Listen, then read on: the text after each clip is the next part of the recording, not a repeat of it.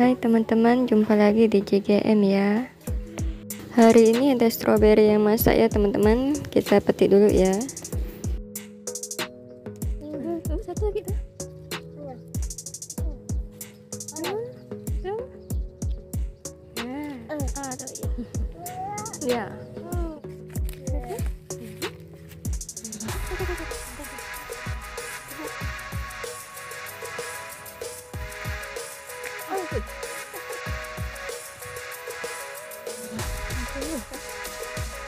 Dia karena apa? Coba dia. Ini.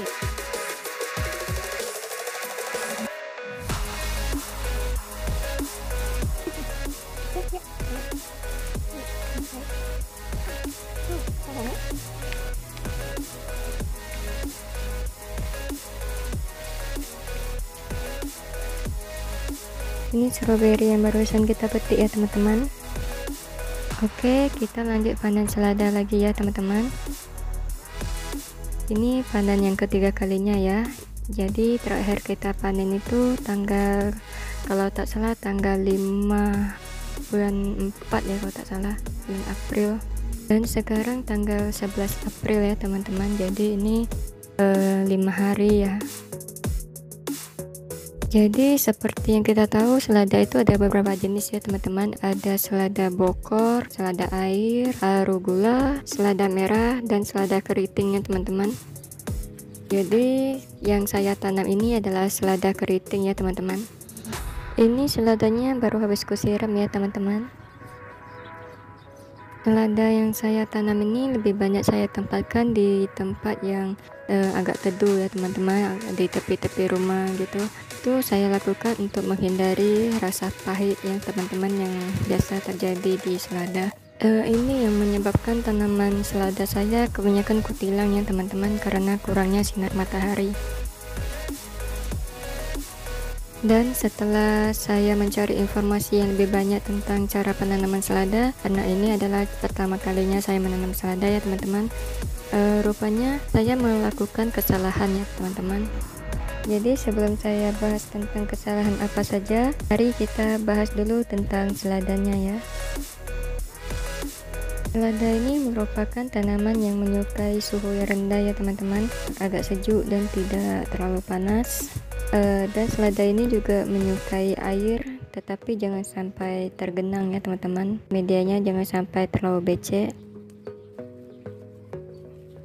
Karena selada menyukai suhu yang sejuk uh, dan saat kita menanamnya di musim kemarau ya teman-teman itu akan terjadi proses yang disebut dengan bolting ya teman-teman. Jadi proses bolting ini adalah proses di mana selada ini e, mengeluarkan bunga lebih awal ya teman-teman. Lebih cepat ya teman-teman. Dan saat proses keluarnya bunga inilah yang menyebabkan daun selada ini terasa pahit ya teman-teman. Tapi proses bolting ini bukan satu-satunya faktor yang menyebabkan e, selada itu terasa pahit ya teman-teman faktor kedua yang menyebabkan daun selada ini terasa pahit adalah kurangnya air teman-teman.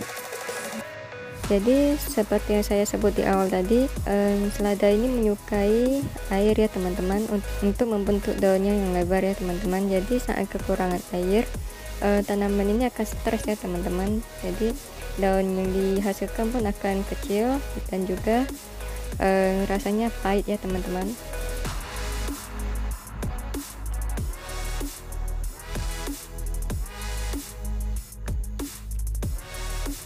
Dan faktor ketiga yang menyebabkan daunnya terasa pahit adalah e, nutrisi ya teman-teman. Jadi kelebihan unsur nitrogen itu juga bisa menyebabkan e, daunnya terasa pahit ya teman-teman. Dan kelebihan unsur ini biasanya sering terjadi di sistem hidroponik ya teman-teman. Saya pernah mencoba menanam secara hidroponik ya teman-teman e, pada sawi pacoy dan ada beberapa sawi saya yang saya tanam waktu itu terasa pahit ya teman-teman dan selada yang saya tanam ini seperti yang saya bilang tadi saya meletakkannya di tepi-tepi rumah ya teman-teman di tepi-tepi dinding e, untuk menghindari cahaya matahari yang berlebihan supaya daunnya tidak terasa pahit. Dan ternyata e, ini salah ya teman-teman. Jadi yang harus saya lakukan itu meletakkan mulsa di atas permukaan media ya teman-teman. Itu untuk mencegah sinar matahari menyinari langsung ke akarnya ya teman-teman dan juga e, fungsi mulsa ini untuk menjaga kelembaban ya teman-teman. Jadi pemberian mulsa itu bisa berupa rerumputan kering atau dedaunan kering ya teman-teman. Karena di sekitar rumah tidak ada rerumputan kering dan dedaunan kering makanya di sini saya tidak meletakkan mulsa ya teman-teman dan seperti yang teman-teman lihat di media tanam selada ini banyak ditumbuhi oleh uh, rerumputan liar ya teman-teman. Jadi pengaruh rerumputan liar ini sangat berpengaruh ke selada ya teman-teman dan tanaman lain juga. Karena di sini akan terjadi perebutan nutrisi ya teman-teman. Jadi nutrisi yang kita fokuskan untuk selada di diambil oleh sebagian oleh uh, tanaman liar ya teman-teman. Jadi seharusnya di sini itu saya harus mencabut rerumputan liar itu ya teman-teman karena keterbatasan waktu. Jadi saya terpaksa membiarkan rerumputan liar itu ya teman-teman. Nah itu ladanya menjadi kurang nutrisi ya teman-teman. Dan kesalahan saya selanjutnya adalah seringnya saya lupa menyiramnya ya teman-teman yang mana seharusnya sehari itu disiram dua kali saya hanya menyiramnya sekali atau bahkan tidak sama sekali ya teman-teman karena lupa. Karena kebiasaan buruk ini saya sering mendapati beberapa tanaman saya yang mati karena kekeringannya teman-teman. Itulah beberapa faktor yang menyebabkan pahitnya dan selada ya teman-teman agar seladanya tidak pahit saat dikonsumsi ya teman-teman ini ada beberapa tips untuk teman-teman ya.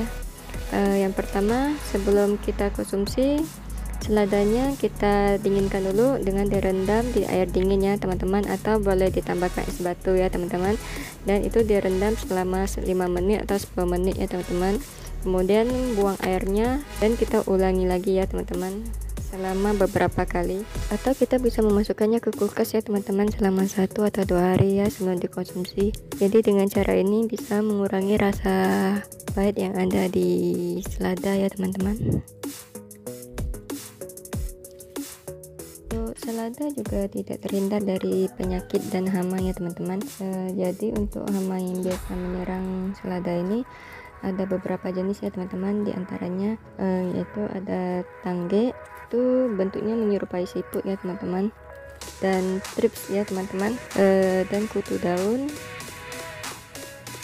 Penyakit yang sering menyerang itu ada busuk lunak ya teman-teman.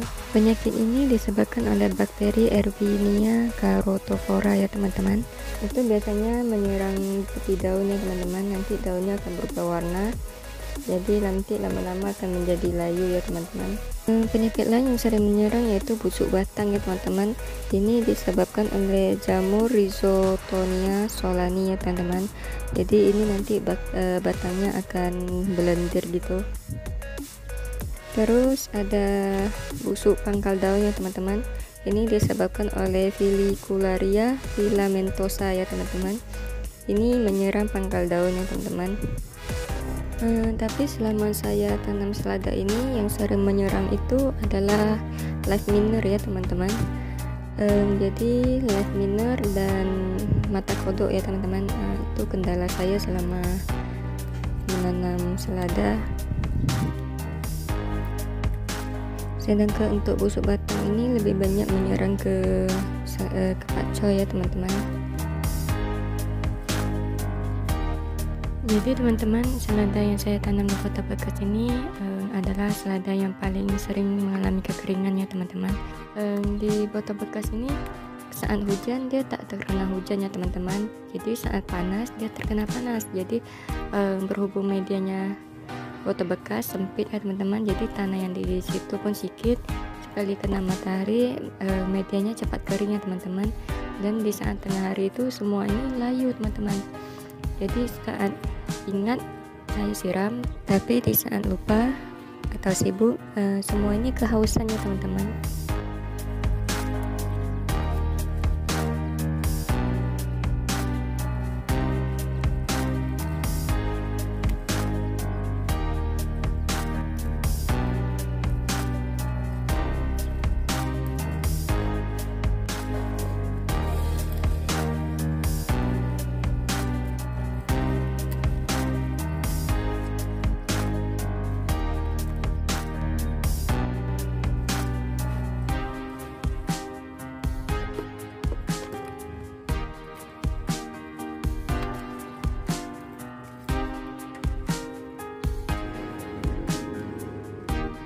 kalau selada yang di sini ini uh, dia lebih banyak terkena matahari ya teman-teman. Tapi yang di sini juga sering kehausan dan juga kekurang nutrisi ya teman-teman. Jika teman-teman mau tanam dengan cara seperti ini ya teman-teman ditempelkan ke dinding. Saya sarankan jangan terlalu tinggi ya teman-teman penempatannya. Karena itu sangat merepotkan ya teman-teman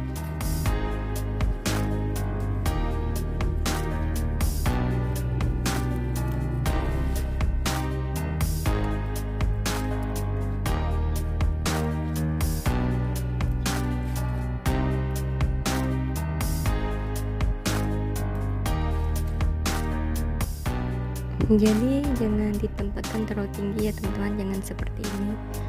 Ini terlalu tinggi ya teman-teman. Jadi sangat sulit untuk panen dan sangat sulit juga untuk menyiram pupuk ya teman-teman.